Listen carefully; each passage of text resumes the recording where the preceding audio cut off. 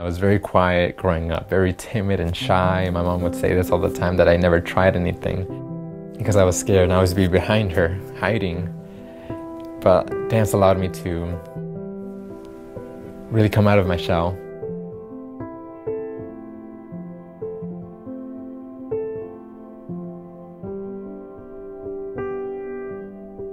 When my mom immigrated to the US, uh, I was five years old. While I was growing up, my mom and stepfather at the time were just really working so hard, and I think most of their money went to pay the rent, buy the food, and also to pay the lawyers that they had hired so they could get citizenship in the US and their case could be passed. And then also some of it was being sent to my grandma and great grandma at the time. So everything they were doing was to support us and their family. I started, it's almost like saying I'm was a self hating Mexican. And that really happened when I found out I was undocumented because I thought it's so unfair that I've been here and I never knew about it. And now that I'm going through this, I just realized that my whole life can't go further. I can't have a future. I did discover dance almost at the same time that I discovered that I was undocumented. And so I would realize that while I'm in school, training and all that, that I'm dancing, and I was able to just push those thoughts aside, you know, leave them at the door, and then I would stop. I'd go home, and then I would just tense up more, and I'd be back in this present, this different present that uh, restricted me so much.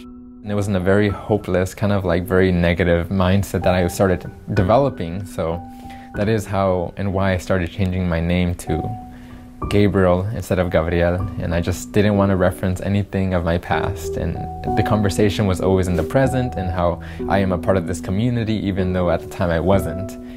I didn't want to talk about being Mexican because that's not what I wanted to be. That's what I thought was, um, at the time, shameful. I I was afraid to let people know that I'm from Mexico because I was afraid that I would be deported, and I always wanted to be a part of this. And so, me assimilating and being more what I thought American was, which is blonde, you know, fair skin and blue eyes, that's what I wanted to be. And so I would not, you know, go out in the sun as much. I would dress with lighter colors or whatever made my complexion lighter. When DACA came out, it was almost like a safety net that and just a bit of a weight off our shoulders and now we were able to really voice our opinion. So I was able to be more comfortable in sharing now that yes, I come from immigrant roots and I'm I was born in Mexico. My name is Gabriel. So I share that now because now that I feel more safe than I used to. I, I don't regret going through a stage in my life where I hated myself for being Mexican.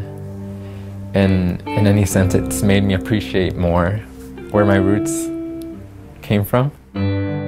I look back at it and I'm just like, oh, I was so awful for thinking that and for, you know, treating myself and having thoughts about my community that always deported me. Um, for thinking like I don't want to be part of this, you know, I want to be in this other better uh, standing than they are. Um, it's allowed me to reflect a lot on that, and I don't know had had I not discovered dance, when what kind of lifestyle I would be leading or how my emotions would be at the moment.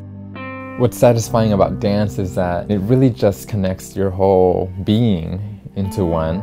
Three, four years ago, I was able to start thinking, how can I combine dance and my story? And then that's when it really came to me that the opportunity I was given for being a dreamer. Presently, I use my art form and my status to show who I am and to show who other people are that are in my situation as well. Yeah, there's 800,000 dreamers, but I now think about the 11 million immigrants who are here, and that's not something I will ever be away from. I will always, in a sense, be an immigrant.